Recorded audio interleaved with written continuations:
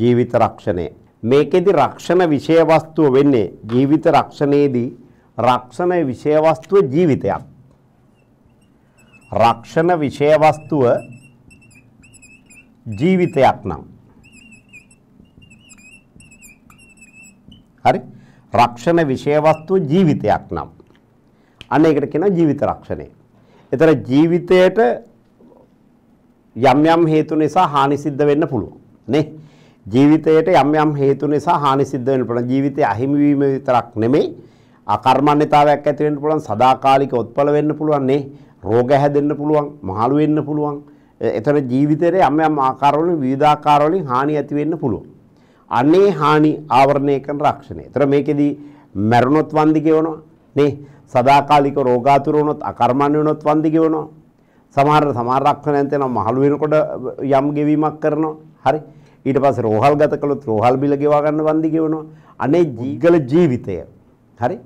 පුද්ගලයෙකුගේ ජීවිතයක් රක්ෂණය කරන රක්ෂණය තමයි අපි කියන්නේ ජීවිත රක්ෂණය. සාමාන්‍යයෙන් අපි ජීවිත රක්ෂණය හැටියට බැලු බැලමට පේන දේ මෙහෙමයි වෙන්නේ. රක්ෂණ කාලයක් තියෙනවා. අවුරුදු ඒක දිගු කාලේ නෑ. සාමාන්‍ය අවුරුද්දකටනේ මේ ගන්න. දැන් වාහනයක් රක්ෂණය කරන්න එපා අවුරුද්දකටනේ. මේ අනිත් එක දිගු කාලේ නයි. හරි? ඒ නිසා අවුරුදු 20කට 25කට 15කට අපි දැන් අවුරුදු 20කට රක්ෂණයක් ගත්තා කියලා.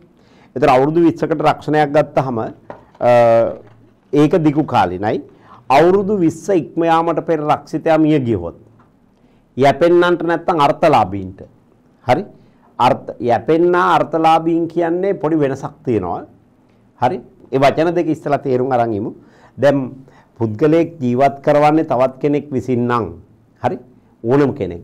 එහෙම නැත්නම් යම් කෙනෙක් ජීවත් වෙන්නේ තවත් කෙනෙකුගේ පිහිටෙන් නම් එයා යැපෙන්නේ. දැන් දරුවෝ ජීවත් වෙන්නේ තාත්තගේ පිහිටෙන් නම් තාත්තා හරි හම්බ කරන දේවල් වලින් නම්.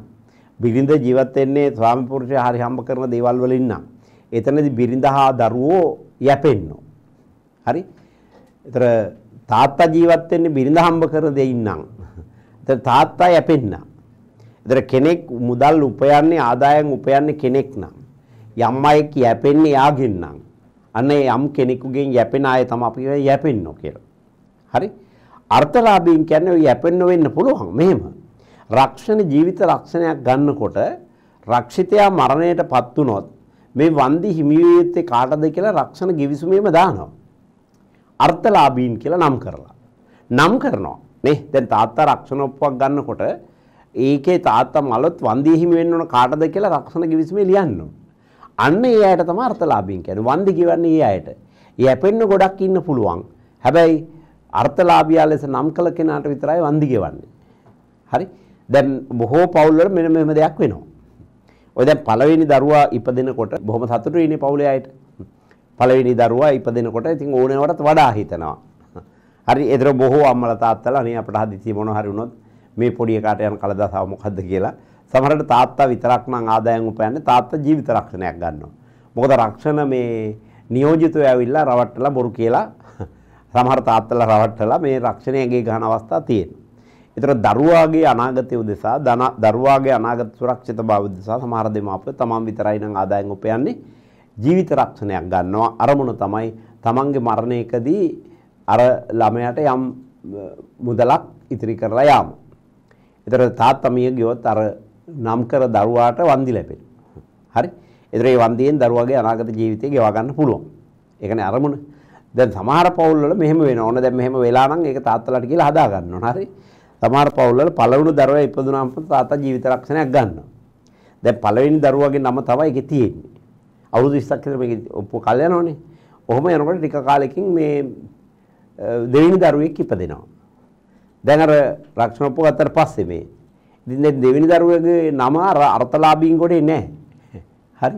ඕක ඔහොම ගිහින් අපි අවුරුදු 18ක් විතර යනකොට තාත්තා මැරෙනවා. දැන් අර අර්ථලාභීන් කොටේ නම තියෙන පළවෙනි දරුවගේ විතරයි. එතන අන වන්දි ලැබෙන්නේ පළවෙනි දරුවට විතරයි.